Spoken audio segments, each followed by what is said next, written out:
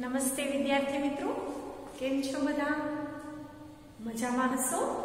આજે આપણે ધોરણ બાર સંસ્કૃત વિષયની અંદર અભ્યાસ નંબર ત્રણ, છંદ પરિચય. એની અંતર્ગત આજે આપણે શીખરીણી છંદનો અભ્યાસ કરીશું. અગાઉના વીડિયો લેક્ચરની અંદર આપણે આર્યા છંદનો અભ્યાસ છે તે કરી ચૂક્યા છીએ. જેની અંદર આપણે જોયું કે આર્યા છંદ છે એ માત્રા મેળ છંદ છે. લઘુ અક્ષરની એક માત્રા અને ગુરુ અક્ષરની બે માત્રા હોય છે. જ્યારે શિખરીણી છંદ છે, તે અક્ષર મેળ છંદ છે. એટલે કે શિખરીણી છંદની અંદર જે અક્ષરો આપેલા છે, લઘુ ગુરુ અક્ષર, એમાં અક્ષરોની ગણતરી કરવાની છે. લઘુની અને ગુરુની નિશાની દર્શાવી અને શીખરેણી છંદનો આજે આપણે અભ્યાસ શેર કરવાનો છે. અગાઉ આપણે જોયું કે એ રીતે કેટલા મુદ્દાઓના સંદર્ભે આપણે શીખરેણી છંદનો અભ્યાસ કરીશું જેથી કરીને પરીક્ષામાં તમે આ રીતે લખો તો ખૂબ સરળતાથી લખી શકાય સૌપ્રથમ આપણે લખીશું છંદનું નામ આજે આપણે શીખરેણી છંદ ભણવાના છે એટલે મેં એની સામે લખેલું છે શીખરેણી છંદ ત્યાર પછી અક્ષર સંખ્યા તો શીખરેણી છંદની અંદર એક ચરણની અક્ષર સંખ્યા 17 હોય છે વિદ્યાર્થી મિત્રો તમે સૌ જાણો છો કે કોઈ પણ શ્લોક હોય એના ચાર ચરણ હોય તો ચાર ચરણની અક્ષર સંખ્યા શીખરેણી છંદની અંદર 68 થાય કારણ કે 17 ચોકું 68 એટલે એક ચરણની અક્ષર સંખ્યા શીખરીણી છંદમાં 17 હોય હવે આપણે એનું લક્ષણ એટલે કે વ્યાખ્યા જોઈએ તો રસે રુદ્રેશ છિન્ન યમન સભલાગહ શિખરીણી રસે રુદ્રેશ છિન્ન યમન સભલાગ શિખરીણી આ એની વ્યાખ્યા અથવા લક્ષણ છે હવે જે વ્યાખ્યા કે લક્ષણ આપેલું છે એની અંદર પણ અક્ષર કેટલા હશે 17 એટલે આપણે ગણીશું સૌપ્રથમ કે જે લક્ષણ લખેલું છે એની અંદર 17 અક્ષર થાય છે કે નહીં અગાઉ મેં તમને કીધેલું છે કે અડધા અક્ષરને ક્યાંય ગણતરીમાં લેવાના થશે નહીં. એટલે આપણે સૌપ્રથમ અક્ષર ગણીએ તો 1 2 3 ચાર, પાંચ, છ, સાત, આઠ, નવ, દસ, અગિયાર, બાર, તેર, ચૌદ, પંદર, સોળ અને સત્તર. એટલે તમે જોઈ શકો છો કે અહીંયા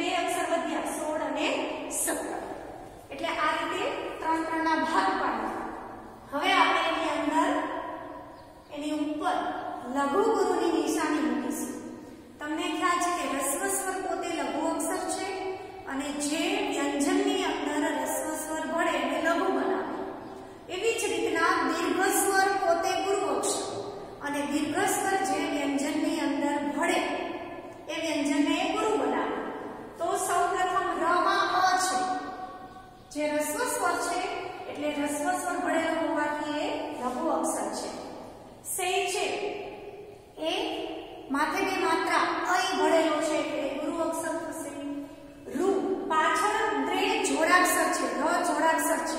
આપણે નિયમ જોયેલો હોય હતો કે લઘુ અક્ષર પછી જો જોડાક્ષર આવે તો લઘુ અક્ષર કેવો થઈ જાય? ગુરુ. ત્યાર પછી બે ઉપર બે માત્રા છે. ગુરુ જ છે, પણ પાછળ ચ જોડાક્ષર છે એટલે દ કેવો થશે? ગુરુ. છ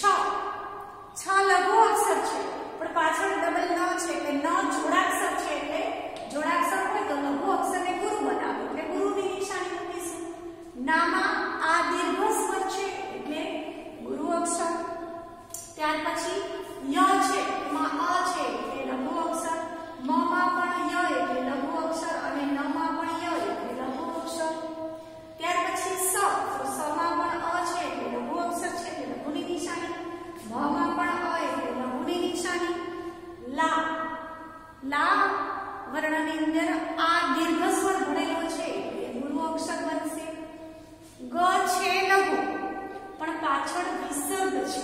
આપણે અગાઉ નિયમ જોયેલો કે જો લઘુ અક્ષર પછી વિસર્ગ હોય તો એ લઘુ અક્ષર ગુરુ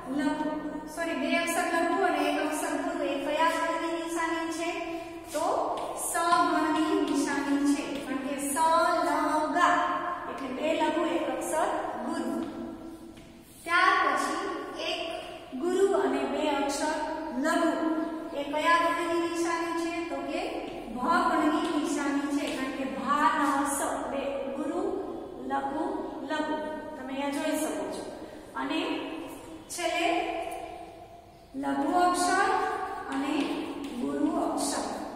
એટલે તમે અહીંયા ગણબંધારણની અંદર જોઈ શકો છો, ય, મ, ન, સ ભ લઘુ અને ગુરુ. તમે ય, મ, ન, સ અને ભ, લઘુ અને ગુરુ. એટલે ગણબંધારણની અંદર આપણે ય ગણ, મ ગણ, ન ગણ, સ ગણ ભ ગણ. છેલ્લે લઘુ અને ગુરુ અક્ષર છે એ મૂકેલા છે એટલે જે લક્ષણની અંદર ગણબંધારણ છે એ આપણે નીચે લખીશું. જો તમે ધ્યાનથી લક્ષણને વાંચશો, તો લક્ષણની અંદર જ તમને ગણબંધારણ મળી જશે. જો યમન સભ લાગ આ ગણબંધારણ છે એ લક્ષણની અંદર જ આપેલું છે એટલે વિદ્યાર્થી મિત્રો મોસ્ટ ટાઈમલી શું તો કે તમારે લક્ષણ પાકું કરી લેવાનું લક્ષણ પાકું કર્યું એટલે તમને અક્ષર સંખ્યા મળી જાય લક્ષણ પાકું કરો એટલે તમને એની અંદરથી જ ગણબંધારણ મળી જાય અને લક્ષણ પાકું કરો એટલે યતિ પણ એની અંદરથી મળી જાય કઈ રીતે એ આપણે જોઈએ યતિ એટલે અટક સ્થાન વિરામ સ્થાન શ્લોકને તમે બોલતા હો કે વાંચતા હો વચ્ચે વચ્ચે જ્યાં અટકવું પડે, એ અટક સ્થાનને યતિ કહેવાય. તો શીખરીણી છંદની અંદર પ્રથમ યતિ છ અક્ષર પછી આવે. છ અક્ષર એટલે તમે જુઓ છો, અહીંયા એક, બે, ત્રણ, ચાર, પાંચ અને છ. એટલે રસે રુદ્રેશ છિન્ના. આટલું બોલીને તમારે અટકી જવાનું.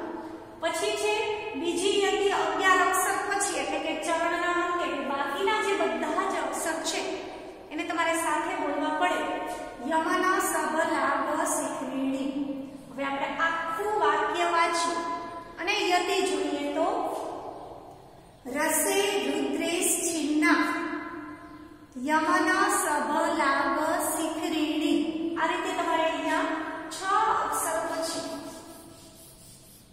અટકી જવાનું અને પછીના પાછળના અગિયાર અક્ષર બોલવાના સાથે એટલે બીજી હતી ચરણના અંતે એટલે કે અગિયાર અક્ષર પછી.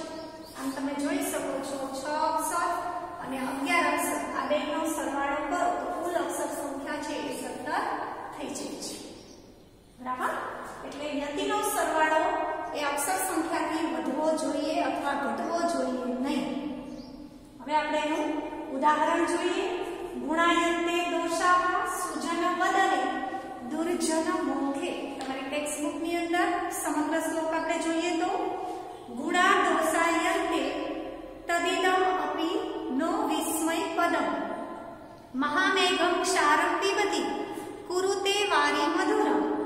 ફણી ક્ષીરમ પિત્વા વમતી ગરલ દુઃસહતરમ જે માત્ર અહીંયા રિવિઝન છે એટલે એક જ પંક્તિ લખી છે। આપણે જોઈએ કે એના અક્ષર છે એ સત્તર થાય છે કે નહીં? એક, બે, ત્રણ, ચાર, પાંચ, છ, સાત, આઠ, નવ, દસ, અગિયાર, બાર, તેર, ચૌદ, પંદર, સોળ અને સત્તર અક્ષર હવે આપણે એના ત્રણ, ત્રણના ભાગ પાડીશું. એક, બે, ત્રણ. એક, બે, ત્રણ. એક, બે, ત્રણ. એક, બે, ત્રણ. એક, બે અને ત્રણ. છેલ્લે બે અક્ષર વધ્યા પાંચ ભાગ પડે, કારણ પાંચ તેરી પંદર અને સોળ અને સત્તર અક્ષર. હવે આપણે એની ઉપર લઘુ ગુરુની નિશાની મૂકીશું. રસ્વ છે એટલે લઘુ, ણા, દીર્ઘ છે એટલે ગુરુ, ય છે લઘુ. પણ પાછળ ન જોડાક્ષર છે એટલે